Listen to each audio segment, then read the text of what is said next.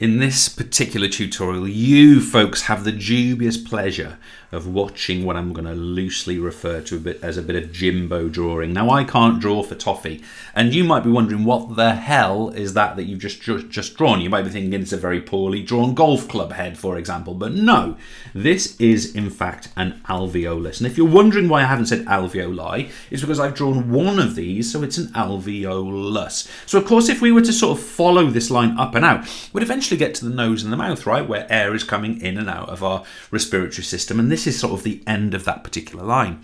We cannot, let me sort of illustrate that with arrows in and arrows out and do it that way. Now, the other thing we might be able to sort of quickly summarize here is what we have inside this alveolus once we've, of course, inspired or breathed in. We have what we describe as an up arrow or high conc O2, and conc means concentration. So in the air we breathe in, there's quite a high concentration of oxygen, round about 20%. But there is also a low conc or low concentration of CO2. There is whatever it is, 0.04% of the air we breathe in from the external air environment at sea level in being breathed into the alveolus, right? So we've got a high concentration of oxygen in that mixture of gases, we've got a low concentration of CO2. Now this alveolus does not exist on its own. Running near it, in fact running right alongside it, is this little structure. And by the way, there would be many hundreds of thousands of them around this alveolus. And what we've got here is we have a capillary. Now, please, please don't think I'm drawing these to scale. I am absolutely not, but there's my capillary there. And of course, as my capillary passes by here, this capillary is going to have a line of red blood cells, and you guys who are studying biology, or maybe you just recall it from GC biology, you should be able to tell me that these red blood cells are exactly 7 micrometers in diameter, just as a capillary is 7 micrometers in, in diameter. That's not what we're interested in today.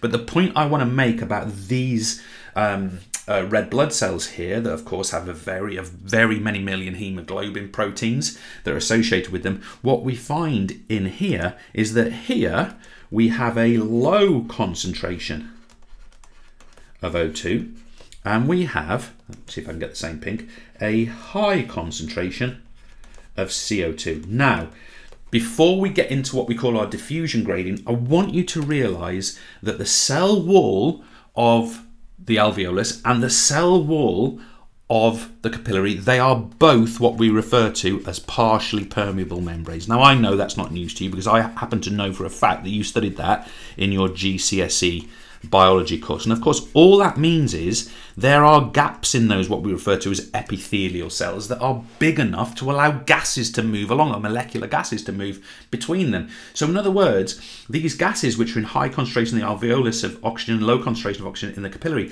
they can move backwards and forwards. And therefore, what we have is a diffusion gradient.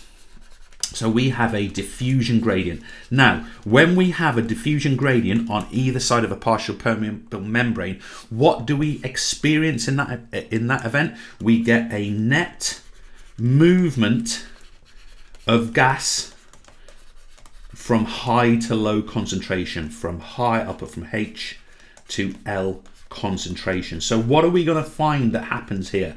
Well, of course, by definition, we're going to find that the high concentration of CO2 is going to move net in that direction. And the high concentration of O2 compared to in the capillary is going to move net in this direction. And that is what we refer to as the exchange of gases down the concentration gradient, down the concentration gradient. So I'm really going to stress that point, down from high to low, the concentration or diffusion gradient. Okay, so of course, the greater that gradient, the faster the diffusion itself. Okay, so that's a really nice sort of comprehensive idea here of what's going on in this particular environment. Of course, I'm not getting really, really technical here. We're looking at the big picture type scenario. But what we can certainly say is that the, the higher this arrow goes, so the greater the concentration of oxygen, which we can't really change because the air is at the concentration is unless we take some kind of face mask and take on extra oxygen, which does happen in certain sporting conditions, especially recovery phase.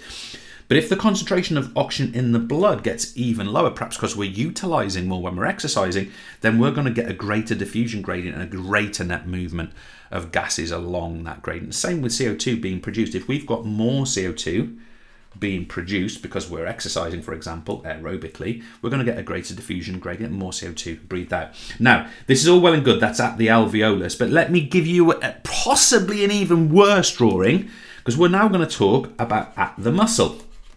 So let me go see if you recognize this. Here's my first structure for you. Guess what this is? It's seven micrometers in diameter. It is the exact diameter of these little lined up chain of red blood cells in here. And of course, these are the capillaries. So I've got a capillary there. But I want you to imagine, and then, trust me, it ain't green. I want you to imagine that now what we've got is we've got muscle tissue. So my green box here, very unrepresentative. This is muscle tissue. And what we've got here, of course, especially when we're exercising, let me just check which colours I use. So here, here, what we've got is we've now got a high conc of oxygen in the capillary, and we've got a low conc, concentration of course, of CO2 in the capillary. But in the muscle, especially during oxygen, uh, especially during exercise, we've got a low concentration of oxygen in the muscle and we have a high concentration of CO2 in the muscle because we're exercising and of course we produce that aerobically through the aerobic system. We've got a high concentration of CO2. So what do we get? We get a net movement of gases down the concentration gradient, down the concentration gradient. And that, of course, defines diffusion. Down the concentration gradient. So what, are we, what would we expect to hear? Well, in broad terms, in net terms, the oxygen in the capillaries will go into the muscle as a net movement, and the CO2, which is within the muscle, will leave the muscle and it will depart in a couple of different ways actually one is as carbaminohemoglobin attached to red blood cells but it also dissolves in the plasma so we've got the net movement of oxygen in the net movement of co2 out and therefore we equip the muscle to respire aerobically because of course oxygen is one of the reactants of the aerobic system and CO2, of course, is one of the products. Now, that, in a simple nutshell sense, is how diffusion takes place, how gaseous exchange takes place. Now, I want to add a little bit of extra detail here for you, okay?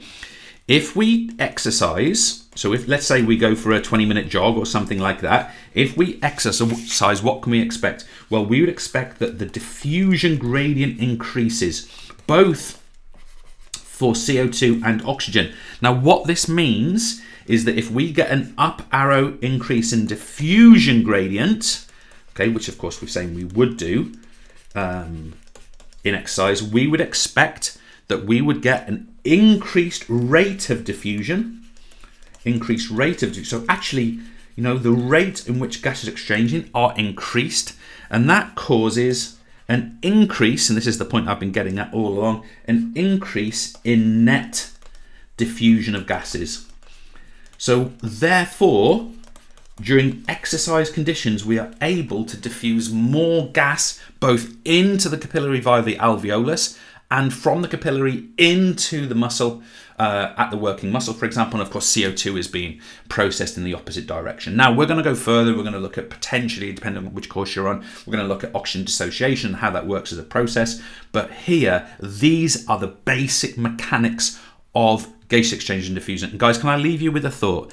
If you're sitting there wondering, well, why do these gas molecules do that? Please go back to your physics in your in your year nine, year ten, and go and have a look at kinetic theory, because that is the answer to why do they do it. Because the thing is, these gas molecules are just bouncing around randomly, and it's probability that causes this to happen. In other words, this concentration gradient just I know I'm at danger of potentially confusing you here, but it's not like we've only got CO2 going in that direction. There is also some CO2 going in that direction, but the total, the net movement is there, is there, okay? Because these gases are bouncing around randomly. That's what we mean by kinetic theory. So we get a net movement of gases from high to low. So if you want to get back into your year nine physics, it may just be helpful in this context.